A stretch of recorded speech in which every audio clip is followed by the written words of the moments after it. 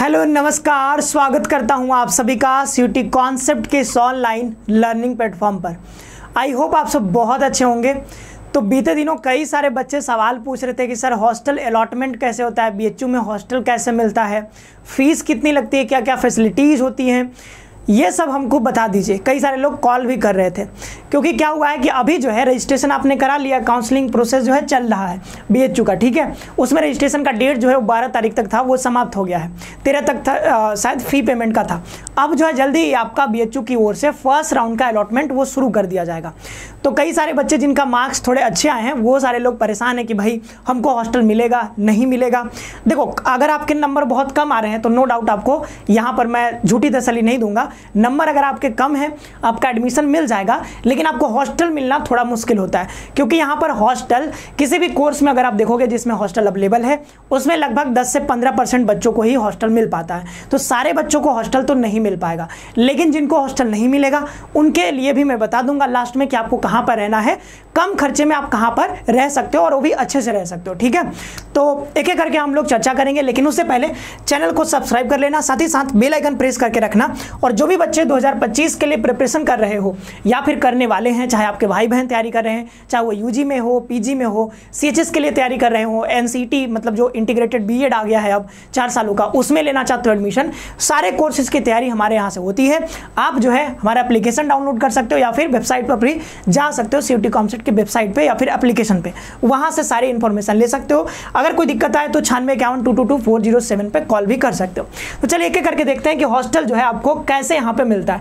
पूरी प्रक्रिया बताएँगे आपको एक एक चीज़ें यहाँ पर हम आपको बताने वाले अभी देखो क्या है यहाँ पर कि सी का एग्ज़ाम आपका हो गया है, ठीक है? अब एग्ज़ाम के बाद जो है बीएचयू ने अपना काउंसलिंग पोर्टल ओपन किया। अब उसमें आपने अपना रजिस्ट्रेशन करवा लिया है, ठीक है? जिन लोगों ने नहीं करवाया है तो अब तो डेट खत्म हो गया, अब आप करवा भी नहीं पाओगे, ठीक है? आपने अपना प्रेफरेंस फ़ी पेमेंट सब कुछ कर दिया होगा। तो बी की काउंसलिंग जो है प्रक्रिया जो आपकी ओर से होनी थी, वो लगभग लगभग समाप्त हो गई। अब बी क्या करेगा? फ़र्स्ट राउंड का सीट अलॉटमेंट वो शुरू करेंगे। तो फ़र्स्ट राउंड में हो सकता है बहुत बच्चों का एडमिशन हो जाए। अगर फ़र्स्ट राउंड में नहीं होगा, घबराना नहीं है। सेकेंड राउंड फिर से शुरू होगा, उसमें भी कई लोग का एडमिशन होगा। थर्ड राउंड फोर्थ राउंड ऐसे ये आते रहते हैं। लास्ट में जो यहाँ पर, वो स्पॉट राउंड जिसको हम लोग कहते हैं, वो भी यहाँ पर शुरू किया जाएगा। उसमें भी कई सारे बच्चों का एडमिशन होता है। तो सीट अलॉटमेंट अभी शुरू होगा। अभी कहाँ तक प्रोग्रेस हुआ है? अभी जो है आप यहाँ तक पहुँच चुके हो, आपका जो है काउंसलिंग आपकी ओर से जो ऑनलाइन काउंसलिंग होनी थी, वो हो गई है। मतलब काउंसलिंग का एक पार्ट हो गया है रजिस्ट्रेशन वाला, और जो आप फ़ी पेमेंट करते हो, वो सब कुछ हो गया, आपकी ओर से हो गया। काउंसलिंग तो है काउंसलिंग तो यूनिवर्सिटी की ओर से भी होता है ना? तो अभी जो है ऑनलाइन वेरिफिकेशन होगा, वो सब कुछ होगा, ठीक है?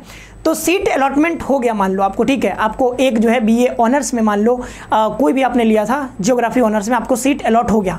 तो अलॉट होने के बाद आपको फिर वहाँ पर क्या करना होता है एक्सेप्ट करना होता है देन आपको अगर अगर कोई डॉक्यूमेंट में कोई अगर गड़बड़ी पाई गई तो वो क्वेरी रेज करेंगे आपको और कोई समस्या हुई तो वो बताएँगे आपको ईमेल के थ्रू ठीक है? यूनिवर्सिटी की ओर से आपको बताया जाएगा देन आपको उसको सही करना होगा। अगर कोई कोई डॉक्यूमेंट में अगर कोई गड़बड़ हो गया तो वो डॉक्यूमेंट आपको दोबारा से उनको सबमिट करना होगा। ऑनलाइन ही होगा पूरा, ठीक है? तो फिर दे दोगे, फिर आपका, मान लो एडमिशन हो गया तो एडमिशन कैसे होगा? तो एडमिशन होने से पहले आपको जैसे सीट अलॉटमेंट हुआ एक्सेप्ट किया आपने ठीक है? डॉक्यूमेंट वेरीफाई हो गया देन आपको यहाँ पर फ़ी पेमेंट का ऑप्शन दिख जाएगा, ठीक है? तो फ़ी पेमेंट का ऑप्शन दिख जाएगा। ये पूरी प्रक्रिया हम बताएँगे। जब जब भी फ़र्स्ट राउंड का अलॉटमेंट होगा तो हम सब कुछ बता देंगे। इसके लिए नहीं घबराना, ठीक है?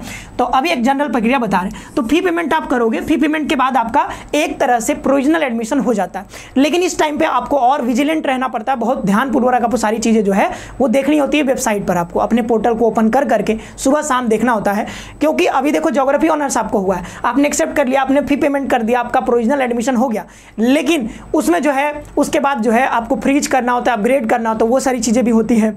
फिर आपको मान लो जोग्राफी ऑनर्स के अलावा किसी और कोर्स में एडमिशन मिल गया बीए के अलावा किसी और कोर्स में मान लो, ठीक है? जैसे आपने मान लो बीकॉम ही भरा था तो बीकॉम में भी मान लो आपको कोई सीट आपको अलॉट हो गई। तो फिर आपको डिसीज़न लेना होता है कि भाई हमको बीकॉम में जाना है या फिर बीए में ही रहना है तो वहाँ पर भी आपको एक्सेप्ट रिजेक्ट का ऑप्शन मिलता है। तो वो सारी चीज़ें होती हैं, जब ये होंगी तो हम आपको अच्छे से बताएँगे। अभी के लिए इतना समझो फ़ी पेमेंट कर दोगे तो आपका यहाँ पर प्रोविजनल एडमिशन आपको लगभग लगभग यहाँ पर हो गया मान लो। लो, ठीक है? अब फ़ी पेमेंट कर दिया एडमिशन हो गया। अब एडमिशन के बाद क्या होगा कि आपको यहाँ पर एक एडमिट कार्ड मिल जाएगा। एडमिट कार्ड में मेंशन होगा कि भाई इस डेट को, इस वेन्यू पे आपको यहाँ पर आ जाना है, इस टाइम पे आ जाना है, ठीक है? तो आपको एक वेन्यू दे दिया जाएगा टाइम दे दिया जाएगा डेट दिया जाएगा फ़िज़िकल वेरिफिकेशन के लिए। तो वहाँ पर आओगे फ़िज़िकल वेरिफिकेशन होगा, सब कुछ हो जाएगा आपका। देन आप यहाँ पर एक स्टूडेंट हो जाओगे, ठीक है? और स्टूडेंट आप बन जाओगे। इसके बाद आपके कुछ दिनों बाद क्लासेस स्टार्ट हो जाएँगी। तो क्लास जैसे ही स्टार्ट हो जाएगा, ठीक है? क्लास स्टार्ट हो गया, आपका एडमिशन हो गया क्लास स्टार्ट हो गया। अब क्लास स्टार्ट होने के बाद क्या होता है कि यहाँ पर एक जो है, जिनको जिनको हॉस्टल की रिक्वायरमेंट थी, वो आपसे पहले ही पूछ लिया जाएगा फ़िज़िकल वेरिफिकेशन में कि हॉस्टल आपको चाहिए? यस कर दोगे? चाहिए, लगभग सभी लोग कर ही देते हैं, ठीक है? तो आपको यहाँ पर हॉस्टल के लिए आपने यस कर दिया। देन आपको क्या होगा कि लगभग कोर्स में मान लो कि अगर 100 परसेंट बच्चों ने एडमिशन लिया किसी कोर्स में, जैसे बी ऑनर्स में मान लो, ठीक है? बीए ऑनर्स सोशल साइंस में। मान लो 100 बच्चे ने एडमिशन लिया है 100 बच्चों ने तो इसमें से लगभग 15 बच्चों को यहाँ पर एडमिशन मिलेगा हॉस्टल में, ठीक है? तो हॉस्टल अलॉटमेंट हो जाएगा, लगभग किसी भी कोर्स में देखोगे तो लगभग दस से पंद्रह बच्चों को यहाँ पर हॉस्टल मिल जाता है, किसी किसी में बीस भी। तो पंद्रह से बीस बच्चों को हॉस्टल मिलता है। हॉस्टल कब मिलेगा? तो एडमिशन होने के बाद क्लास स्टार्ट हो जाएगा। देन आपको यहाँ पर हॉस्टल के लिए यहाँ पर जिनको जिनको हॉस्टल मिलेगा, उनका उनका जो है एक, ठीक है, एक नोटिफिकेशन जारी होगा, वो ऑफलाइन होगा पूरा। एक जो है यहाँ पर ये जो है, आपने आप देखोगे वहाँ पर डीन ऑफ़िस में जा करके तो वहाँ पर हॉस्टल का सीट लगा दिया जाएगा भाई कि ये इनका रोल नंबर ये है, नाम ये है, इनको इनका जो है हॉस्टल मिल गया है, इनको हॉस्टल मिल गया ऐसे करके लिस्ट आपको जारी कर दी जाएगी। आपको मतलब व्हाट्सअप पे व्हाट्सअप पे भी ग्रुप्स होते हैं, उस पर भी सर्कुलेट होता रहता है, आपको पता चल जाएगा, ठीक है? तो ये सब कुछ आपको एडमिशन के बाद, और एडमिशन के बाद कितने टाइम लगेगा? तो वो पंद्रह बीस दिन, एक महीना भी आपको लग सकता है, ठीक है? एक महीना के आसपास टाइम तो रहता ही है। तो अभी आप क्लास करोगे तो एक महीना लगभग आपको बाहर ही रहना होगा। तो बाहर रहोगे, ठीक है? बाहर रहने के बाद फिर एक महीने बाद आपको हॉस्टल का लिस्ट आपको निकल जाएगा अलग अलग अलग अलग हॉस्टल का, ठीक है कि एसएमडी में इतने लोगों का हुआ है एनडी में इतने लोगों का हुआ है, ठीक है? एलबीएस में इतने लोगों का हुआ है तो अलग अलग हॉस्टल वाइज आपको यहाँ पर निकल जाएगा कोर्स वाइज, ठीक है? बी सोशल साइंस में, जैसे बी सोशल साइंस वालों का एसएमडी और ए मिलता है, लगभग एक सौ बीस सीट के आसपास है दोनों मिला करके तो वहाँ पर आपको यहाँ पर हॉस्टल मिल जाता है। तो लिस्ट में अगर आपका नाम आ गया तो देन आप हॉस्टल में जा सकते हो। उसकी अलग प्रक्रिया होती है, कुछ आपको डॉक्यूमेंट्स देने होते हैं, फ़ी पेमेंट करना होता है उसका अलग से वो सब कुछ हो जाएगा देन आपको हॉस्टल यहाँ पे मिल जाएगा। तो ये ओवरऑल प्रक्रिया हमने आपको बता दी। लेकिन कुछ इसमें प्रोसीजर होते हैं, कुछ रूल्स भी हैं हॉस्टल के, वो भी थोड़ा सा हम आपको एक एक करके बता देते हैं, ठीक है? तो रूल देख लेते हैं। पहला रूल तो यही है, सबसे बड़का रूल इसमें यह है कि अगर आपका घर बी से, ये बी हो गई आपकी, ठीक है? बी से अगर टेन किलोमीटर के रेडियस में, ठीक है? टेन किलोमीटर के रेडियस के अंदर अगर आ रहा है, तब तो आपको हॉस्टल मिल जाएगा। लेकिन सॉरी गलत बोल दिया हमने ठीक है। उल्टा बोल दिया सॉरी ये जो है टेन किलोमीटर के अंदर अगर आपका आ रहा है तो आपको हॉस्टल नहीं मिलेगा। ध्यान देना, क्या मैं बोल रहा हूँ कि अगर आपका घर इधर है मतलब इस टेन किलोमीटर रेडियस के अंदर में है मतलब आप प्रॉपर बनारस के रहने वाले हो और बीएचयू के पास में रहते हो आप तो आपको हॉस्टल नहीं मिलेगा, ठीक है? क्योंकि हॉस्टल माना जाता है कि भाई बाहर के बच्चे आएँगे तो दूर दूर से जो बच्चे आ रहे हैं, उनको ज़्यादा प्रायोरिटी दी जाती है, क्योंकि आप पास में हो तो पास में आप मैनेज कर ही सकते हो, आपका घर भी होगा, कहीं ना कहीं आप रह रहे हो तो आपको जो ज़्यादा दिक्कत नहीं होगा। तो दस किलोमीटर के अंदर आप हो अगर, इस रेडियस में अगर आप आते हो, इस आपका घर इधर है टेन किलोमीटर के बीच में, इधर, ठीक है, इसमें कहीं पर है आपका घर तो आपको हॉस्टल नहीं मिल पाएगा। ओके, चाहे आप जितना भी नंबर लेकर के आओ, चाहे आप साढ़े चार सौ का इस बार बन रहा है, साढ़े चार सौ में से बीए में अगर देखें, साढ़े चार सौ में से चार सौ इकतीस नंबर भी लेके आओगे तो आपको हॉस्टल में मिलना बहुत मुश्किल हो जाएगा। मतलब मिलेगा ही नहीं, क्योंकि रूल ही कह रहा है कि भाई, दस किलोमीटर के अंदर अगर आपका घर है तो आपको हॉस्टल नहीं मिलेगा। लेकिन लेकिन अगर ये बीएचयू है और बीएचयू का मान लो ये 10 किलोमीटर का रेडियस है, ठीक है? ये 10 किलोमीटर का रेडियस है। अगर इस रेडियस के बाहर आपका घर है, मान लो यहाँ है, मान लो यहाँ है तो बाहर अगर आपका घर है 10 किलोमीटर से ज़्यादा दूरी पर है ठीक है? डिस्टेंस अगर आपका 101 किलोमीटर 200 किलोमीटर 400 किलोमीटर 15 किलोमीटर भी है, तब भी मिलेगा। 10 से ज़्यादा होना चाहिए, ठीक है? तो आपको यहाँ पर हॉस्टल मिल सकता है। अगेन सिर्फ़ दूरी के हिसाब से आपको हॉस्टल नहीं मिलता है। आपको जो अपने कोर्स में अच्छे मार्क्स भी गेन करने होंगे, वो भी देखेंगे अभी, ठीक है? एटी ट्वेंटी का रूल तो ये, मान लो कोई बच्चा जो है तमिलनाडु से आ रहा है तो उसको हॉस्टल मिलने के चांसेस बढ़ जाते हैं, ठीक है? ऐसा नहीं कि पक्का आपको मिल जाएगा बट आपका चांसेस आपके बढ़ जाते हैं। तो डिस्टेंस समझ गए, दस किलोमीटर से ज़्यादा होना चाहिए। और साथ ही साथ रिजर्वेशन की बात कर लेते हैं तो जनरल ईडब्ल्यूएस ओबीसी के लिए कोई भी रिजर्वेशन नहीं है हॉस्टल में। आपको जनरल कैटेगरी से ही यहाँ पर लेना होगा, ठीक है? हॉस्टल आपको जनरल कैटेगरी में ही अलॉट होगा। आपको ना तो मतलब जनरल तो जनरल ही है, फिर ईडब्ल्यूएस ओबीसी इनके लिए कोई रिजर्वेशन नहीं है। जनरल तो जनरल ही है, उसके लिए क्या, ठीक है? तो ईडब्ल्यूएस ओबीसी के लिए कोई रिजर्वेशन यहाँ पे नहीं है। आपको जो है, जनरल रैंक में ही आपको यहाँ पर एडमिशन मिलेगा। लेकिन एस सी के लिए यहाँ पर रिजर्वेशन है तो ठीक है? रिजर्वेशन यहाँ पर एप्लीकेबल है हॉस्टल के लिए एस सी के लिए। तो आपको जो है अपने आ, मतलब कैटेगरी के अकॉर्डिंग आपका जो है अलग रैंक आ जाएगा उसमें ठीक है? कम नंबर पर भी आपको यहाँ पर हॉस्टल मिल जाता है। तो एस सी के लिए रिजर्वेशन है इनके लिए रिजर्वेशन नहीं है। ए डब्ल्यू के लिए हॉस्टल में कोई रिजर्वेशन नहीं है। अब आ जाते हैं सबसे मोस्ट इंपॉर्टेंट रूल के बारे में जो कि आपका एटी ट्वेंटी का रूल ठीक है? एटी ट्वेंटी का रूल ओके अब इसको ना हम एक उदाहरण से आपको समझाने की कोशिश करते हैं। सपोज़ करो दो बच्चे हैं, ठीक है? एक है मान लो सुरेश, ठीक है? सुरेश है ये मान लो, ठीक है? सुरेश है, एक है महेश। एक है महेश, एक है सुरेश। तो दो बच्चे यहाँ पर हो गए।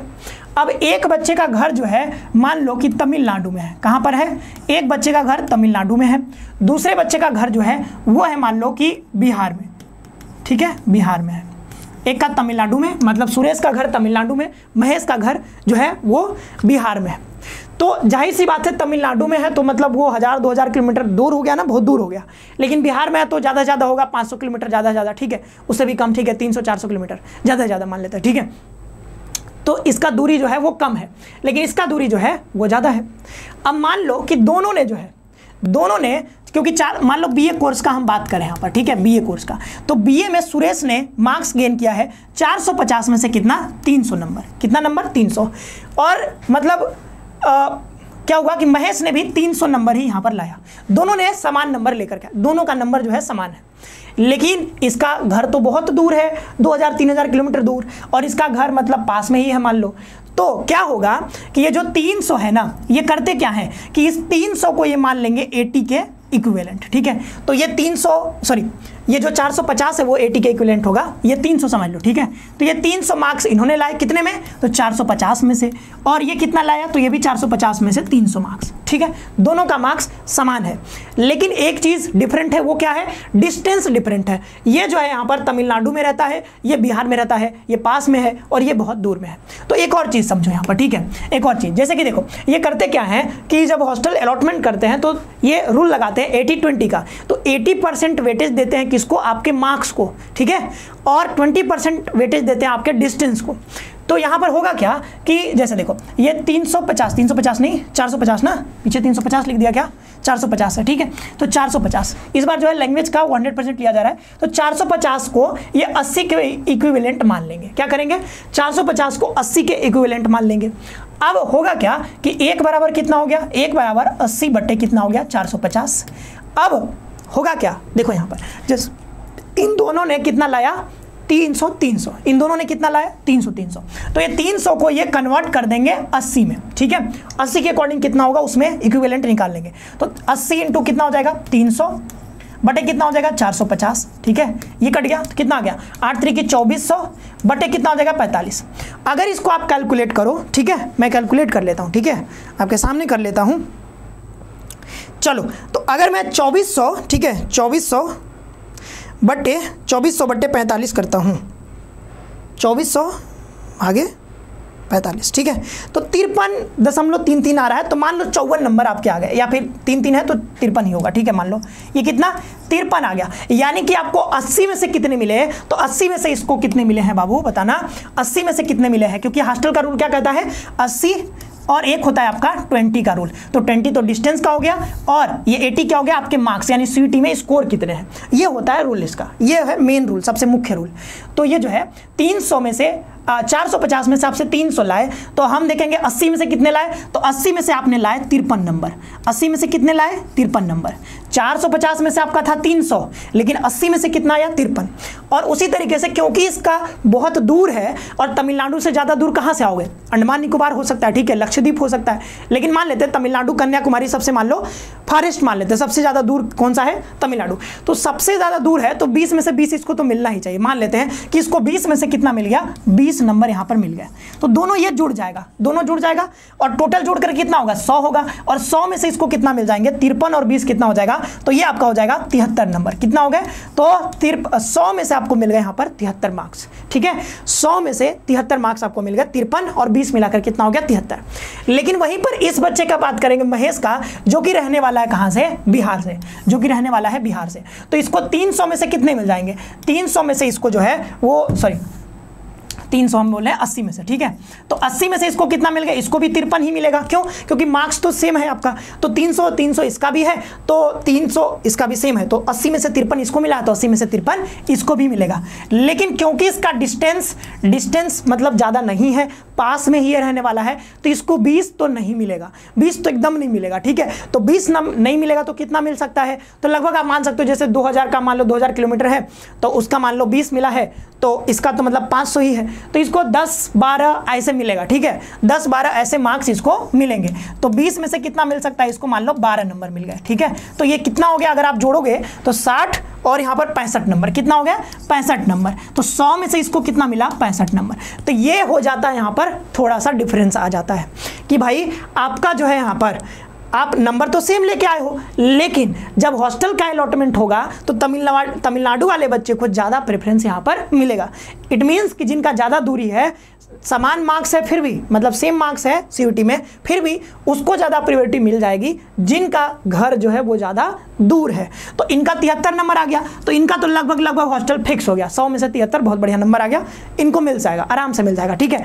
लेकिन आपको हो सकता है यहाँ पर दिक्कत हो जाए। ठीक है, अगर आपका एस सी कैटेगरी नहीं है तो आपको यहाँ पर दिक्कत हो जाएगा। इतने में हॉस्टल मिलना मुश्किल हो सकता है। तो ये चीज़ जो है डिफर कर जाती है, ठीक है? डिस्टेंस यहाँ पर मैटर कर जाता है। ओके ज़्यादा दूर है तो ज़्यादा मैटर करता है, कम दूरी पर है तो उतना मैटर करता नहीं है। ठीक है? क्योंकि मान लो दो बच्चे थे। अगर ये दोनों जो है, मान लो एक भी यूपी से होता है एक बिहार से होता तो दोनों को लगभग लगभग समान ही मार्क्स मिलते तो उतना फ़र्क नहीं आता। लेकिन ये तमिलनाडु से है, बहुत दूर है, इसलिए ज़्यादा अंतर आ रहा है, ठीक है?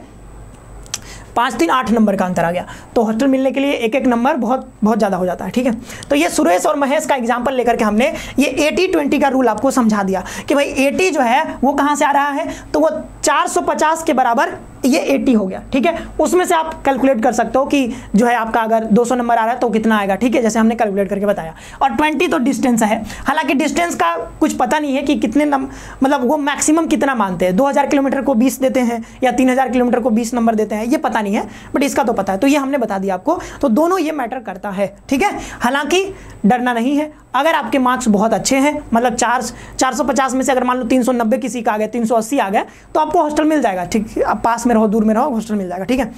अब ये तो रूल नहीं है मतलब वैसे ये मतलब प्रॉपर रूल रूल नहीं है। रूल तो ये तीन ही था बट यहाँ पर ये देखो रैंक अगर आप मान लो किसी कोर्स में मतलब मान लो सौ बच्चों का एडमिशन होता है, अगर आप टॉप में टॉप ट्वेंटी में या फिर टॉप फिफ्टीन में हो तो आपको हॉस्टल पक्का मिल जाएगा ओके चिंता मत करना टॉप ट्वेंटी फिफ्टीन में परसेंट में अगर आ रहे हो आप तो आपको आराम से एडमिशन मिल जाएगा। सीट्स की बात करें हॉस्टल में सीट्स कितने होते हैं? तो किसी भी कोर्स में आप निकाल के देखोगे तो लगभग पंद्रह परसेंट सीट्स आपको देखने को मिलेंगे। किसी किसी कोर्स में बीस परसेंट हो सकता है, लेकिन पंद्रह परसेंट सीट्स के आसपास रहते हैं। किसी में दस भी होते हैं, किसी में पंद्रह।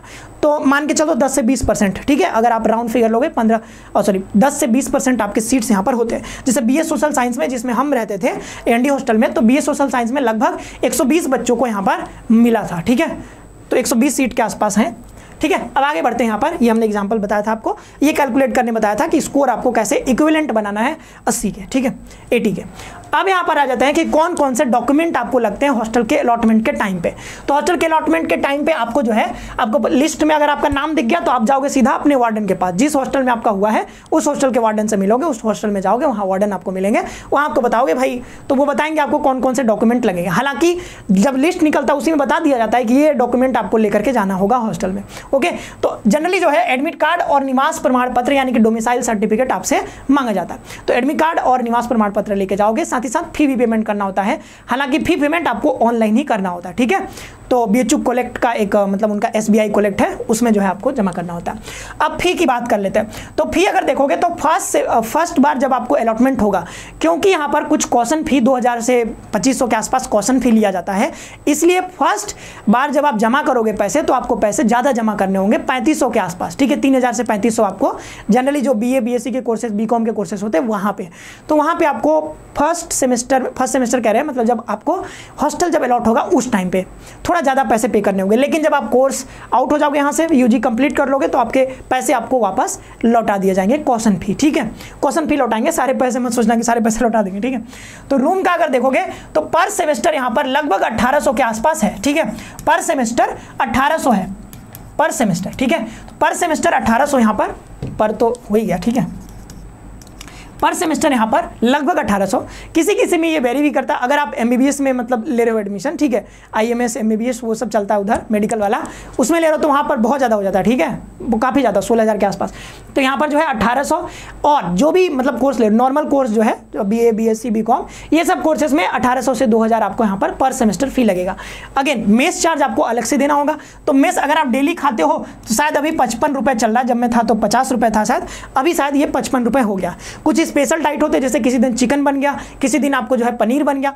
तो खीर बन गया, खीर का नहीं लगता है, पनीर का। पनीर और आपका यहाँ पर बनता है चिकन का। वो अगर आप खाते हो, ठीक है, एक भी बनता है तो वो आप खाते हो तो आपको थोड़ा सा ज़्यादा, यानी अस्सी रुपये के आसपास हो जाता है उस दिन, जिस दिन स्पेशल डाइट बनता है। बाद बाकी ये पचपन रुपये चलेगा। तो सुबह शाम आप खाते हो तो हालाँकि नाश्ता भी बनता है तो नाश्ता खाते हो तो नाश्ता के लिए अलग आपको पे करना होगा। लेकिन जो प्रॉपर डाइट होता है, जो मील हम लेते हैं दोपहर का और रात का तो पचपन प्लस पचपन तो एक सौ आपके हो जाएँगे डेली का, ठीक है? तो वो आप तैतीस सौ आपके आसपास जाएँगे पर मंथ, ठीक है? और ये मिस का हो गया पर मंथ तैतीस से पैंतीस सौ रुपये आपको लगेगा। फिर बाहर आप कुछ खाओगे ही तो मान लो चार हज़ार पैंतीस सौ के आसपास आपका चला जाएगा, ठीक है? ये आपका हो गया। देन फैसिलिटीज़ की बात करें तो फैसिलिटी में मतलब आर का मतलब टैंक लगा होता है, पानी उनी सब कुछ रहेगा। गर्मी में ठंडा पानी मिलेगा आपको और ठंडी में गर्म पानी भी आपको वहाँ पर मिलता है। नहाने के लिए भी गीजर लगा होता है। तो वो सब भी होता है। बाद बाकी लॉन होता है, आप बैठ सकते हो, बातें कर सकते हो, ठीक है। और रूम में जाओगे तो रूम में आपको अलमारी मिल जाएगा, बेड मिल जाएगा, चेयर मिल जाएगा, ठीक है, सब कुछ मिल जाता है। हालाँकि जो मतलब जो गद्दे उद्दे होते हैं बिछाने के लिए, ओढ़ने के लिए, वो आपको खुद से ले जाना होता है, वो आपको वहाँ पर अवेलेबल नहीं होता है, ठीक है।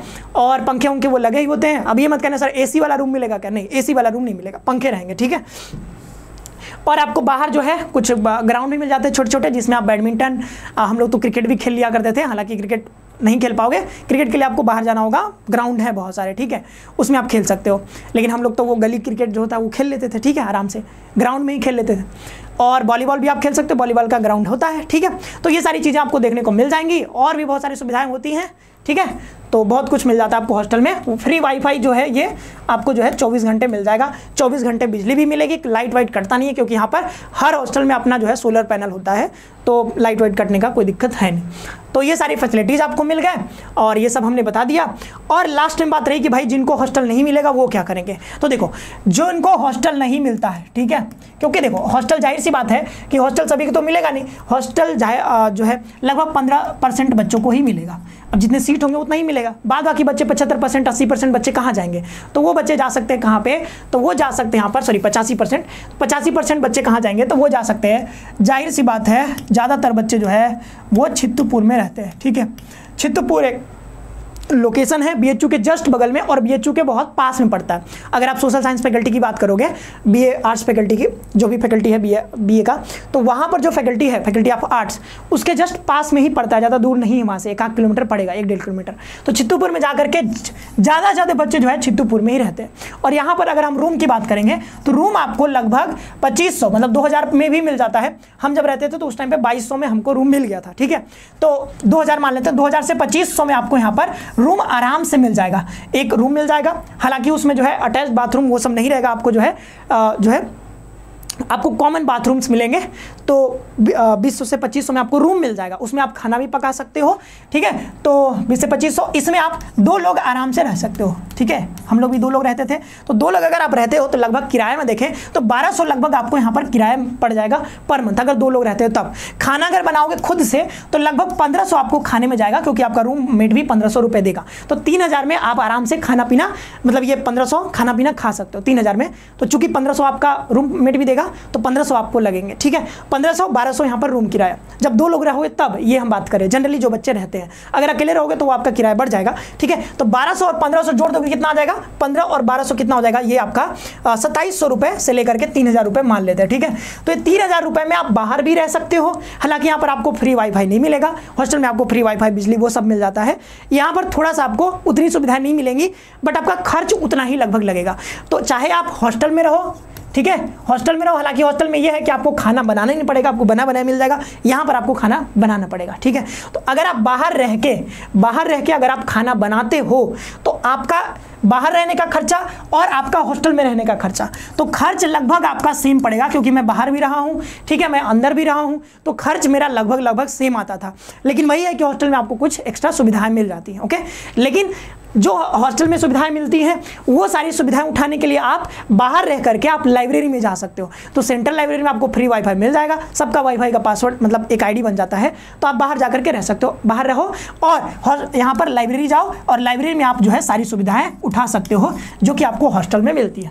ठीक है? और साथ ही साथ, अगर आप चाहते हो कि नहीं, मुझे खाना नहीं बनाना है तो आप बारह सौ रुपये क्योंकि देखो, हॉस्टल का चार्ज यहाँ पर भी तो अठारह सौ लग ही रहा है ना, हॉस्टल का चार्ज, जो पर सेमेस्टर है। हालाँकि यहाँ पर पर सेमेस्टर अठारह सौ है वहाँ पे। यहाँ पर बारह सौ आपको लगभग लग जाएगा। पर मंथ लग जाएगा, ठीक है? तो छः हज़ार के आसपास बारह छः बहत्तर, ठीक है, सात हज़ार के आसपास आपको लगेंगे। तो रूम का रेंट आपका बस बढ़ जाएगा। अगर आप खाना चाहते हो तो आप बाहर रह करके हॉस्टल में जा करके यहाँ पर खाना खा सकते हो, ठीक है? हॉस्टल में जाओ, नहीं बनाने का मन है तो हॉस्टल में जाके खाओ। वही है कि थोड़ा सा चार्ज आपका बढ़ जाएगा। लेकिन खुद से बनाओगे तो यहाँ पर हॉस्टल में रहने का खर्चा और बाहर रहने का खर्चा, दोनों सेम और सुविधाएँ उठाने के लिए आप क्या कर सकते हो? लाइब्रेरी जा सकते हो ओके तो इतना चिंता नहीं करना कि आपको बाहर रह रहे हो तो आप फिर क्या होगा? अच्छा चित्तौपुर के अलावा आप सीर गेट भी जा सकते हो। वहाँ पर आपको सिंगल रूम रूम पंद्रह सौ में भी मिल जाएगा। पंद्रह सौ में भी आपको सीर गेट पर मिल जाएगा। साथ ही साथ आप लंका पर भी रह सकते हो। हालाँकि लंका पे किराया बहुत ज़्यादा है। आप हैदराबाद गेट पर भी आ सकते हो रहने। यहाँ पर भी आपको किराया ज़्यादा लग जाएगा। चित्तौपुर जाओगे, ठीक है, भगवानपुर जाओगे, वहाँ पर पंद्रह सॉरी पंद्रह सौ पंद्रह सौ कम बोल दिया, ठीक है सीर गेट पे पंद्रह सौ। दो हज़ार, पच्चीस सौ, तीन हज़ार में आपको आराम से अच्छा रूम मिल जाएगा। तीन हज़ार अगर दोगे ना तो बहुत अच्छा रूम मिल जाएगा। लेकिन अगर आप हैदराबाद गेट आते हो तो यहाँ पर आपको तीन हज़ार में रूम मिलना बहुत मुश्किल हो जाता है। ठीक है, इधर मिलेगा, लेकिन बहुत खोजना पड़ेगा। तो मैं तो कहूँगा कि अगर आप बाहर रह रहे हो तो चित्तौपुर जाओ, ठीक है? कम खर्चे में आराम से रह सकते हो, ठीक है? ज़्यादा दिक्कत नहीं आएगी। लेकिन अगर अगर पैसे हैं तो आप बाहर भी रह सकते हो। साथ ही साथ आप हॉस्टल भी ले सकते हो, ठीक है? आप बाहर में हॉस्टल भी ले सकते हो। बाहर में हॉस्टल लोगे तो लगभग आपका छः हज़ार से सात हज़ार रुपये आपको पड़ जाएगा छः हज़ार से सात हज़ार रहने का, साथ ही साथ खाने का। पर मंथ ये पड़ेगा, ठीक है? छः से सात हज़ार रुपये, ठीक है? लड़कियाँ ज़्यादातर हॉस्टल प्रीफर करती हैं, कई लड़कियाँ बाहर रहती हैं हॉस्टल लेकर के। तो ये सारी बातें हमने कर ली यहाँ पर हॉस्टल अलॉटमेंट रूल के बारे में फ़ी के बारे में फैसिलिटी के बारे में मतलब हमने अपनी ओर से लगभग लगभग सारी चीज़ें यहाँ पर बता दी हैं। आई होप कि आपको सारी बातें समझ में आ गई होंगी। लास्ट में आप चैनल को सब्सक्राइब कर लीजिएगा, साथ ही साथ बेल आइकन प्रेस करके रखिएगा। आगे आने वाली वीडियोज़ आपको टाइम पर मिलते रहेंगे। मिलते हैं नेक्स्ट सेशन में। धन्यवाद। खुश रहिए, मस्त रहिए।